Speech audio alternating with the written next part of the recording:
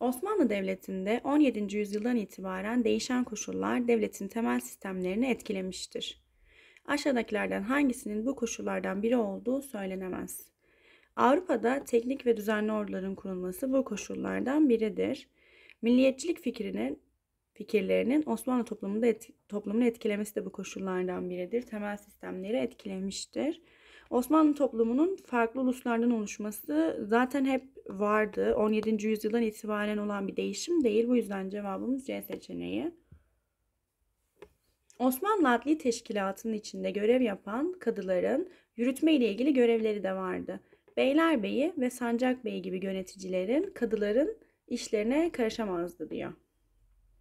Bununla ilgili yargılardan hangilerine ulaşabilir? Bakalım yargılara. Eski Türk geleneklerinde hukuk yapısında etkili eski Türk gelenekleri hukuk yapısında etkili olmuştur. Bununla bir alakalı değil. Yargı bağımsızlığı sağlanmak istenmiştir. Evet. Kadılar faaliyetlerinden ve kararlarından sorumlu tutulmamıştır. Böyle bir şey tabii ki yok. Yalnız ikiye ulaşabiliriz. O da B seçeneği. Osmanlı Devleti'nde Loncaların oluşturduğu avarız akçesi vakıfları sayesinde ortak giderler karşılanmıştır. Buna göre loncaların faaliyetleriyle aşağıdakilerden hangisine katkı sağladığı savunulabilir. Bir sosyal dayanışmadır vakıf kurmak. Bakalım vergilerin toplanması, eğitim faaliyetlerinin tabana yayılması, tarımsal üretim, sosyal dayanışmanın sağlanması. Evet cevabımız D seçeneği. Osmanlı Devleti ile ilgili aşağıdaki eşleştirmelerden hangisinin neden-sonuç ilişkisi içinde gerçekleştiği söylenemez. Kanunname ile Osman'ın yayınlanması, anayasal yönetime geçilmesi değil. Cevabımız A seçeneği. Yine de bir diğer şıklara bakalım. Kafes sistemine geçilmesi, şehzadelerin yönetim tecrübesi kazanmadan tahta çıkması. Evet, sancağa çıkma usulü kaldırıldıktan sonra şehzadeler artık daha tecrübesiz olmuştur. Ekber verşet sisteminin uygulanması Osmanlı Hanedanı'nın en yaşlısının tahta çıkması. Evet. Ekber verşet sistemi zaten Osmanlı Hanedanı'nın en yaşlısının tahta çıkmasıdır. Devlet başkanlığına sadrazamın getirilmesi. Divan kararları divanın karar alma organı olmaktan çıkması. Evet.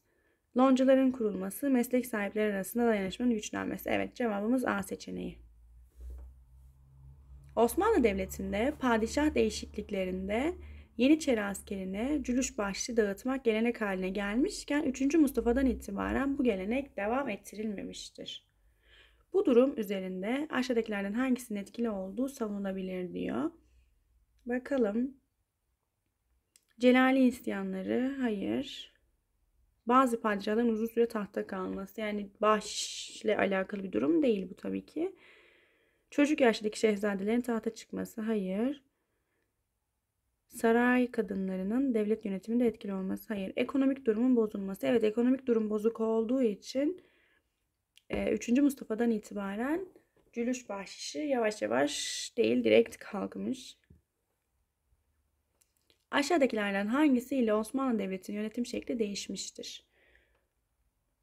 Meşrutiyetin ilan edilmesiyle Osmanlı Devleti yavaş yavaş anayasal düzene geçmiştir. Yönetim şekli değişmiştir. Cevabımız E seçeneği.